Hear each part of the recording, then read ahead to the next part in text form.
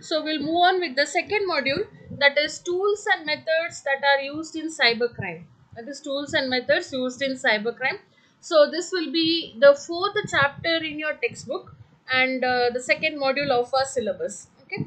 So in the previous uh, module we had learned uh, about who can be a cyber criminal or how they plan to attack uh, or how they plan to perform a cyber offense all those things wherein we also said that cyber attack can be done on any individual or it can be done on the organization also right? So these were the things what we had seen in the uh, previous module. So in this particular uh, module we will be seeing about uh, or uh, our main thing is we are focusing about different types of attacks through which the attacker is going to target your computer system. And also we are going to see the various tools and techniques or you can say different methodologies how the attacker will uh, launch an attack on his target. Okay his target can be either individual or it can be organization. So that is what we are going to see in this particular module. Uh, along with that so here we can see so whenever uh, we say cyber crime wherein in that case a computer system is uh, the most important thing right so there are many types how the attack can happen. In this particular module few of them we will be seeing. Uh, that is uh, we are trying to understand how computer is an important tool for almost all the cyber crimes. Okay? So that's what we are going to see in this particular uh, module. That is tools and methods that are used in cybercrime so here uh, they're saying in the introduction part as uh, internet and computer networks are integral part of information system. Yes internet and the computer network are the most important part of information system right? So as an attacker he will have complete knowledge about the technology also or he needs to have complete knowledge about the technology. So only if he knows how is a network then only he can try and find what might be the loophole in that network. That's what we say. The attacker will need to have complete or in-depth knowledge about the technology. So when you say he is a hacker when you say he is a hacker he is not a dumb person. He knows he has the knowledge about the technology. That's what here they're saying. So network attack incidents reveal the attackers um, are, are often very systematic in launching their attacks. Or in other way network attack incidents whatever uh, attack has happened. That is what uh, uh, I, I have also given you an assignment wherein you need to uh, find out how the different types of attack has happened. Okay? Uh, they are going to give an idea. Uh, reveal that attackers are often very systematic in launching their attack.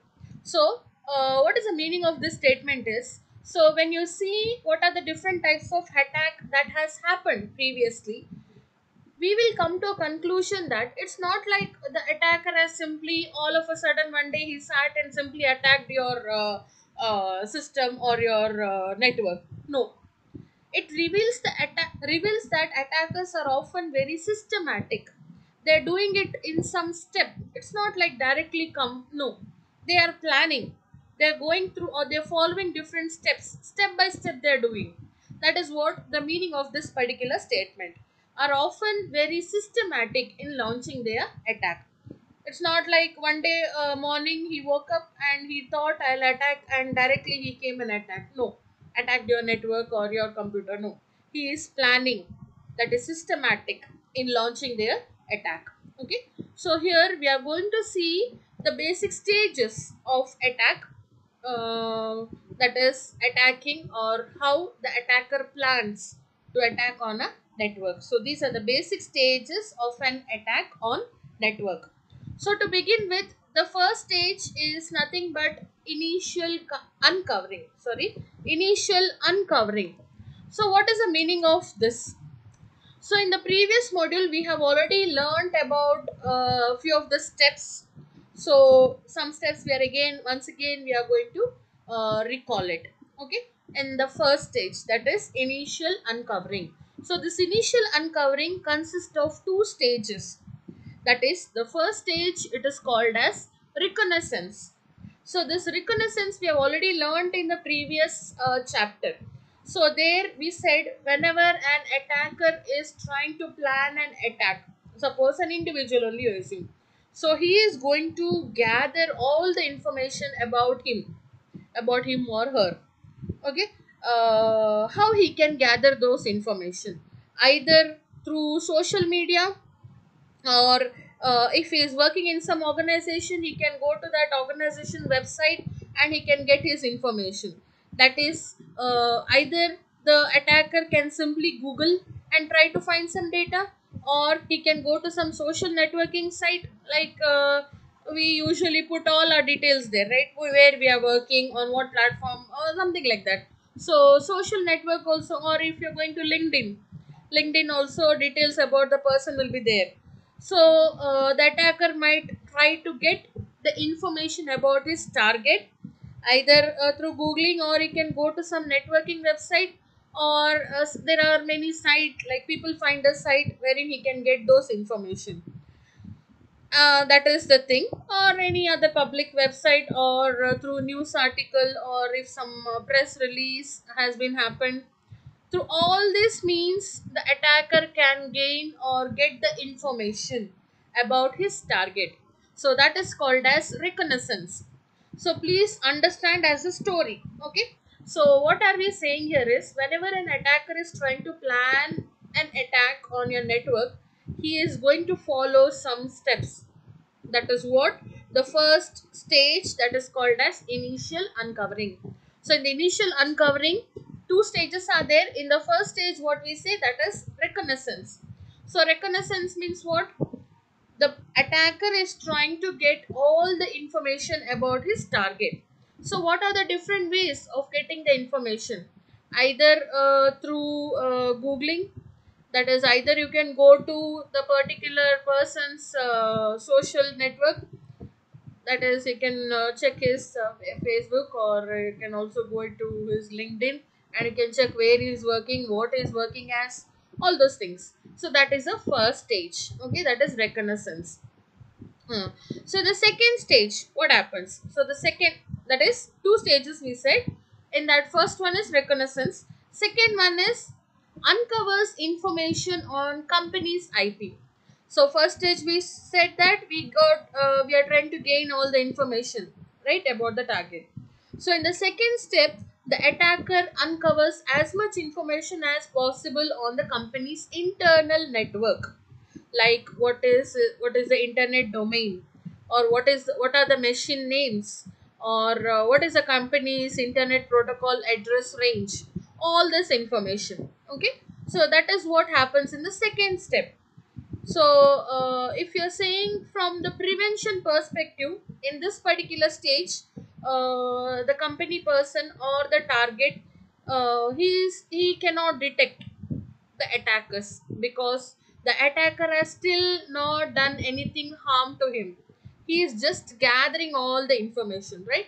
So at this stage uh, the uh, target won't come to know that he is being attacked or an attacker is trying to get his information. Target won't be knowing all this because still the attacker has not done any harm to the target. Okay that is the first step that is initial uncovering which consists of two stages reconnaissance and uncovers information on company's ip reconnaissance like uh, about the employee detail you can collect all the information whereas uncovering information on company's ip is nothing but wherein the attacker is trying to get the range of ip address of the company or machine names okay all those things. So that comes under um the second stage now second stage in the sense in the first stage second step. Okay? So now we'll go to the second stage that is network probe.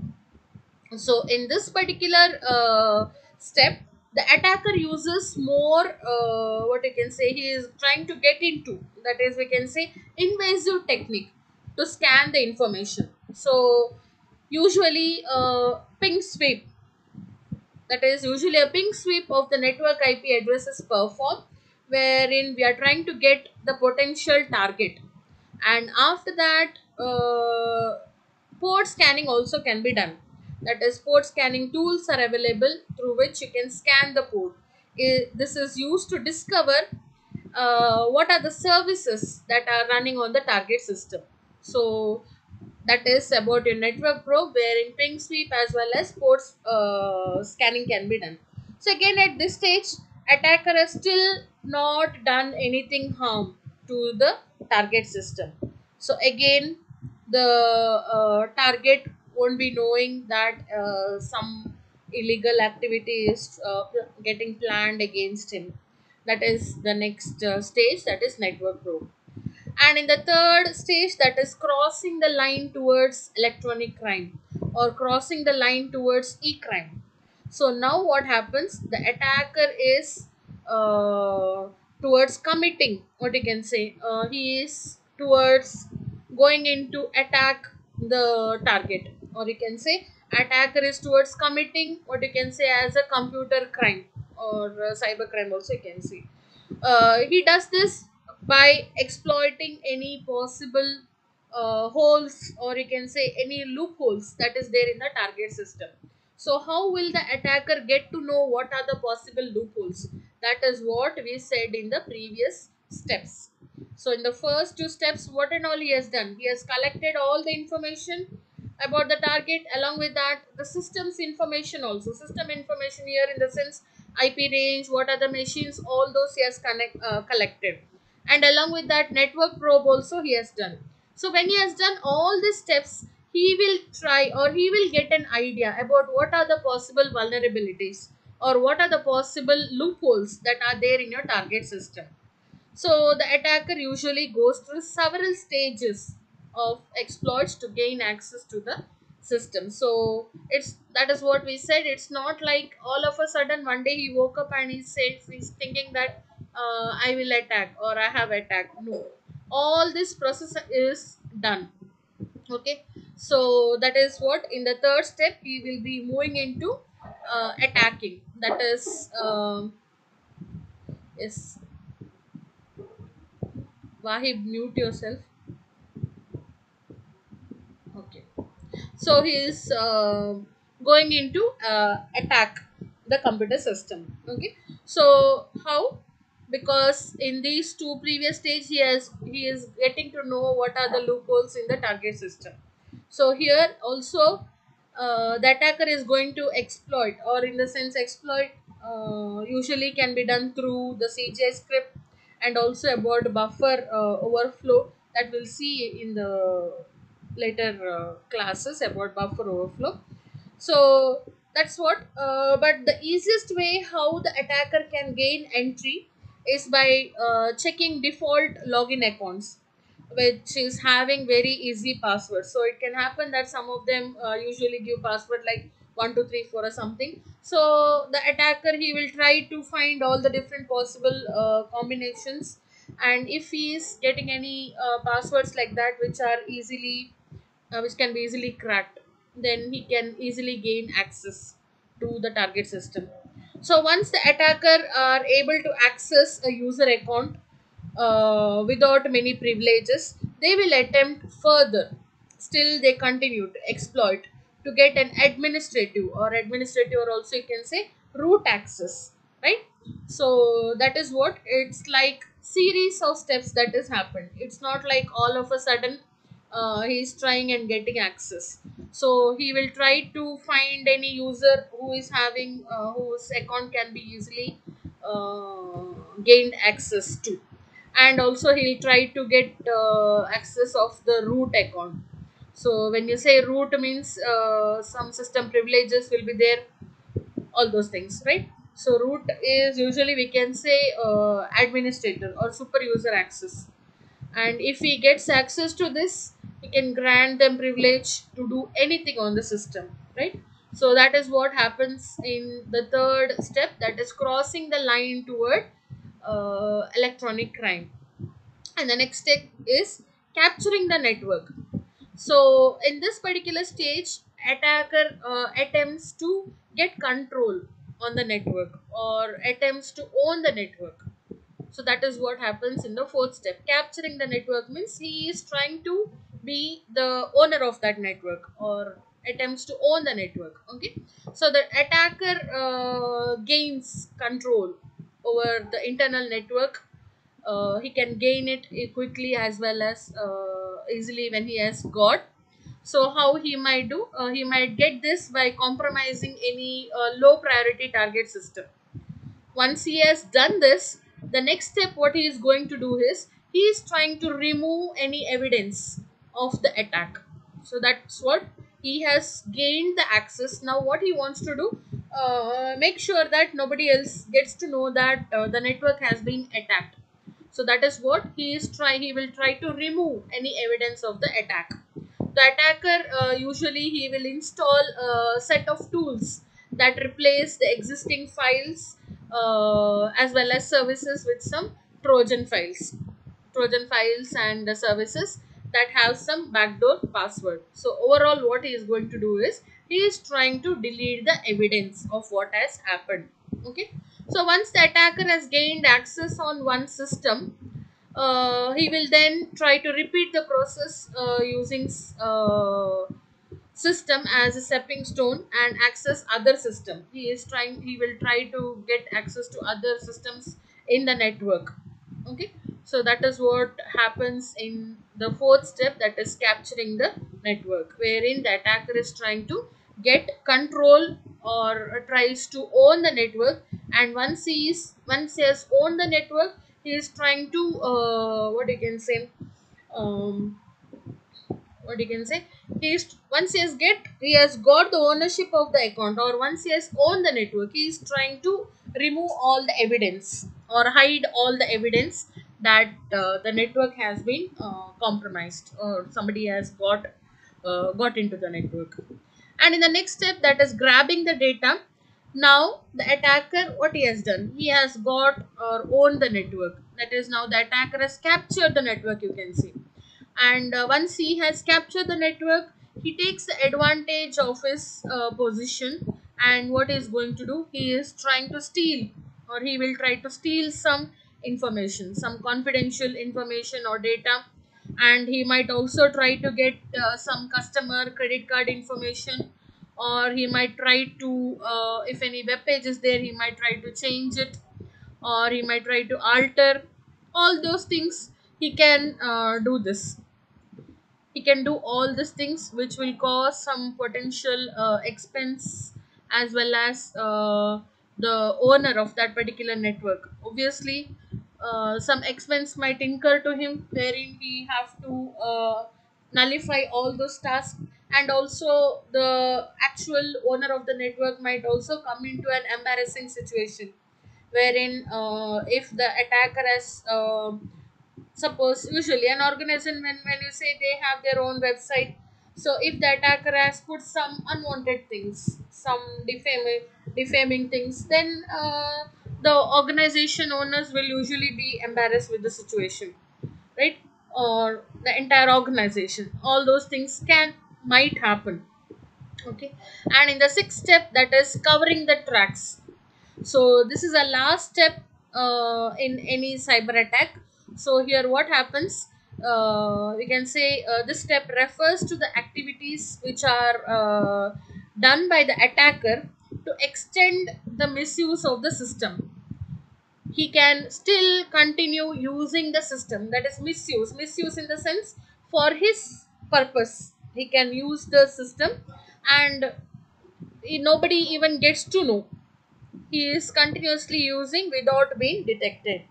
The attacker can remain undetected for even long period or use this phase either to start uh, fresh uh, sorry uh, this might go in for a long period of time wherein the user won't even know. So many cases so usually happens uh, somebody is gaining access uh, if you're saying wi-fi we somebody who has not used any username and password we try to use it uh, it might go for any long period unknowing to that particular owner of that wi-fi right? So same thing here also the attacker might try to misuse the system wherein the organization may not even know that uh, their data has been or somebody some attacker has been using their uh, network. Okay? So that is what. So this can also be used by the attacker to perform some uh, reconnaissance again to target some other uh, to or to find some other target. So this can continue so that is what happens in covering the attack. So this is an important question. What are the basic stages of an attack on the network? Okay. So this is an important question. So different stages. Initial uncovering wherein uh, we say information about the target is found and also uh, in terms of companies ip range all those are connect uh, collected. Network probe find uh, ping sweep is done and also uh, port scanning wherein we are finding what are the services provided. Then uh, crossing the line towards electronic crime. So first two stages the target won't be knowing that he is being uh, trying to be attacked. Where in the third stage uh, the actual attack happens wherein um, the attacker uh, gets into or uh, gets to some random password he will try and he'll try to get in to some account and also he might try to get the access of admin also and fourth step is capturing the network uh, wherein the uh, attacker will own the network and uh, he will also make sure that he goes undetected grabbing the data, collecting the information you can say of the customer or some confidential data that is there, all those information are collected. Finally, the last one is covering the track. Covering the tracks uh, or covering the attacks also you can say or tracks also you can say wherein um, the attacker is continuing to do his job uh, without being detected. And uh, that same task what is doing now he can also use it for reconnaissance in later stages okay? So during the entire process of all this the attacker takes maximum care to hide his identity from the first step itself okay? So from the beginning itself what will the attacker do? He will be very careful that he is not detected. So that is one thing what you should remember. So this is an important question so please make a note of it. Basic stages of an attack on network okay? Here we have uh, various tools and techniques used to launch attack against the target or uh, just some terms. We'll see some of the terms here that is first one is scareware. So uh, scareware is nothing but it comprises of uh, several uh, classes of some scam software. So you might have come across uh, when you access any page or uh, uh, yeah, usually some web page you try to access then you might get some information as or you might get some pop-up. Usually it comes as a pop-up advertisement or banners uh, you might get a message as your computer may be infected or your mobile might be infected with harmful spyware program. So immediate uh, removal of the spyware is required. So to scan you click yes this kind of messages will come across. So this is nothing but your scareware. Means uh, trying to scare the user. And we are making him uh, click on that yes so when he has clicked on this uh, yes he will be directed to another page wherein uh, his details might be collected his personal information might be collected so that is what your scareware which consists of some scam software which are sold to the consumers via some unethic, unethical uh, marketing practices. So, what is that unethical marketing practices? That is usually when you uh, access some page, some banner or some pop-up message comes saying that your phone is being infected or your uh, computer is being infected by uh, harmful uh, spyware. Uh, so you have to uh, do an immediate action like you have to remove it immediately. So click below yes like that. So that is called as your scareware. Next one is um, malvertising. So again this is a malicious advertising that is malvertising. That is malware plus advertising. Again it is an online uh, criminal method that appears focus on uh, installation of some unwanted or uh, outright software through which uh, through the use of internet as well as some advertising media network wherein exchanges uh, contents can happen so here in this case what happens is the cyber criminals attempt to distribute some malware through some advertising. So usually when you try to search for some free software that time we uh, possibility of being attacked by this is more. Wherein some software they are giving it for free of cost means we usually try to download it. So it can happen that along with the software we are also downloading some malware. So that is about your malvertising next one is clickjacking in clickjacking again this is also a malicious technique of uh, tricking us okay uh, into revealing confidential information. Uh, that is your personal data uh, we will uh, that is they make us to give us a personal information. And uh, it can also happen that they may try to take control of the system by clicking on some web pages so clickjacking takes the form of embedded code or it can be a script which is executed without our knowledge. Okay? Without our knowledge some script get executed. So cyber criminal are going to take advantage of any possible loopholes that is there across the browser and uh, the platform also to launch uh, this type of attack uh, like you might have come across some situation wherein uh, you're clicking on a button that uh, appears to perform another function. Okay? So that is about your clickjacking so when you click on it is going to perform some other task. And the last one here is ransomware. So it is nothing but a computer malware that uh, gains control or it is going to hold your computer system or the data what is there in your system.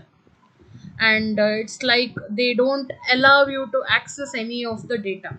So if you want to get access to your data then you have to pay some ransom. So that is what uh, have given as assignment also to you. So that thing you can write. Okay? So typically what does it do is it propagates as a computer worm entering a system okay? And once it has entered your system it is going to control all your data uh, without allowing you to access. So here uh, for example you can say vulnerability in a network uh, service or uh, it can happen that some email attachment also wherein when you click on either in your uh, network some issue might be there or you have clicked on some email attachment.